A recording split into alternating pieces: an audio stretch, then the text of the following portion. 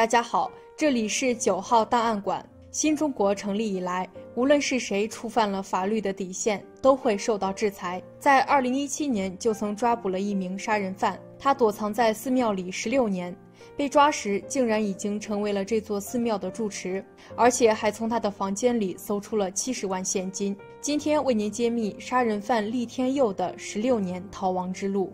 二零零二年元旦前后，二十五岁的厉天佑谋划了一条发财之路。他和熟人耿乐、胡安找了一间出租屋埋伏好，让女子温红承担诱饵角色，将有钱人骗进屋实施抢劫。一月六号晚上，在广州市番禺区，温红将富商卢某骗进出租屋，厉天佑等三人迅速出手，将他推倒在床，并绑住手脚，捂上嘴巴。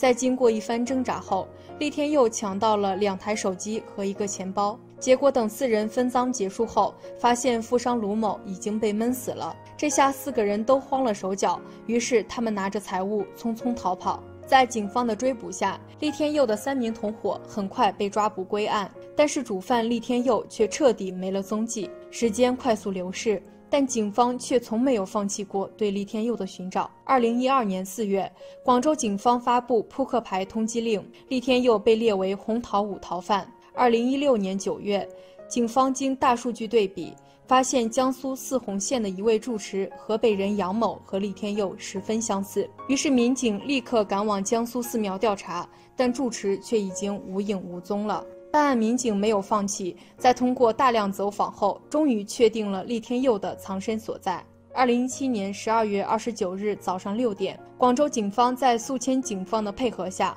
将躲藏在小区并准备逃跑的厉天佑抓获。其居住的房间内还搜出了七十多万元现金。原来，厉天佑在潜逃后，先后逃往广东韶关、云南，之后到了江苏，一直藏身在各个寺庙中。最后，在老家宿迁市的一个小寺庙中躲了起来。二零一一年，他托人办了一张假身份证和戒牒，并以杨某的身份出家为僧。他凭着一手针灸推拿的手艺，免费帮助周边居民治病，获得了乡民的认可，逐渐成为寺庙住持。不过，厉天佑东躲西藏十六年，却最终难逃法律的制裁，只能说天网恢恢，疏而不漏。